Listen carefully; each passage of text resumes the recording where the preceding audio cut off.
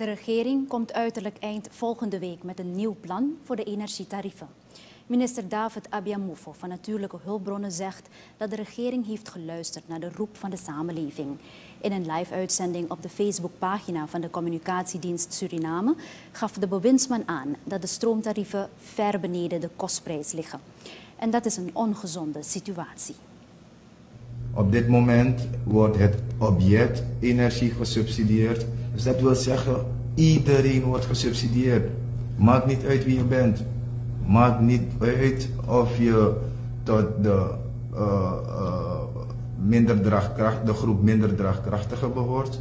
Of de allerrijkste, de groep, tot de uh, groep allerrijksten behoort. Iedereen wordt gesubsidieerd. Dat is geen gezonde situatie. En vandaar dat we gemeend hebben om iets eraan te doen op jaarbasis. Indien wij niets doen, zal de subsidie um, boven 2 miljard SRD bedragen.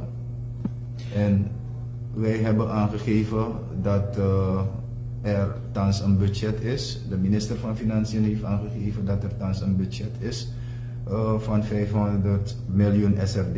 En daarmee zijn we aan de slag gegaan. Ja?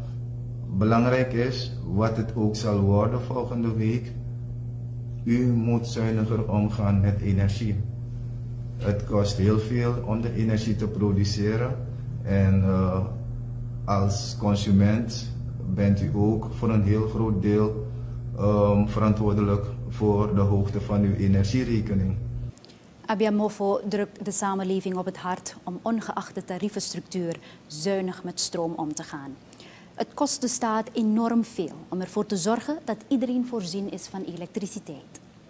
Aan de andere kant kijken we naar alle aspecten die te maken hebben of die van invloed zijn op de kostprijs. We, we kijken ook naar de opkoop van energie. We, kijken ook naar um, Afobaka. Hoeveel kunnen we extra halen uit hydro-energie? Al die aspecten kijken we. Um, iets, een, een, een aspect, een factor waarop wij geen invloed hebben, is, zijn de bewegingen op de wereldmarkt ten aanzien van de prijzen um, voor, uh, voor, uh, voor olie. Um, dat hebben we niet in de hand.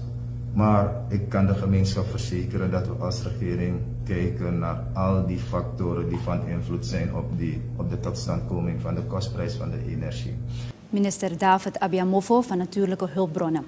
Hij garandeert de gemeenschap dat de efficiëntie van de EBS een prioriteit is van de regering.